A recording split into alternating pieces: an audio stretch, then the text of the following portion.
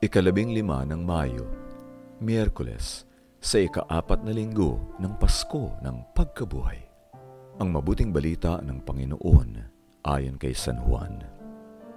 Malakas na sinabi ni Jesus, Ang naniniwala sa akin ay hindi sa akin naniniwala, kundi sa nagsugo sa akin. Ang nakakasaksi sa akin ay nakakasaksi sa nagsugo sa akin. Dumating ako sa mundo bilang liwanag upang hindi sa dilim manatili ang bawat naniniwala sa akin.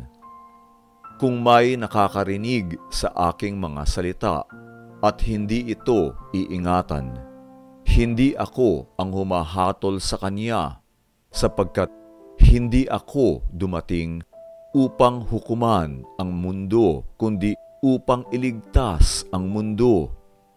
May hukom sa bumabaliwala sa akin at hindi tumatanggap sa aking mga salita.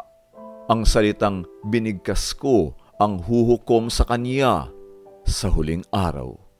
Sapagkat hindi ako nangusap sa ganang sarili. Ang nagsugo sa akin ang Ama.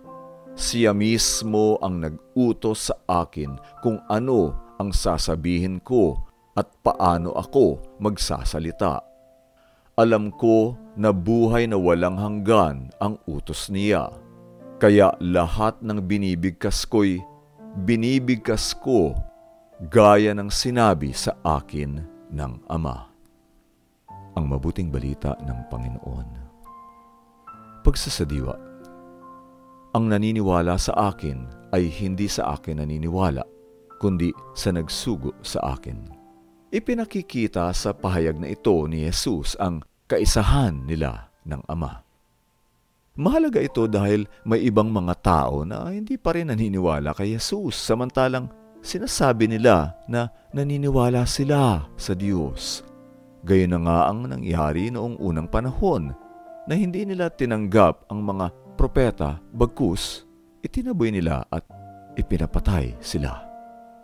Ang pagkilala kay Jesus ay nangangahulugan ng pagtanggap sa Diyos Ama. Hindi pwedeng mamimili lang tayo ng gusto nating paniwalaan. Ang lahat ng sa Diyos ay kay Jesus din. Pagsasagawa, kung nagsasabi kang mahal mo ang Diyos, ang lahat ng itinuturo ni Jesus ay dapat mo ring tanggapin.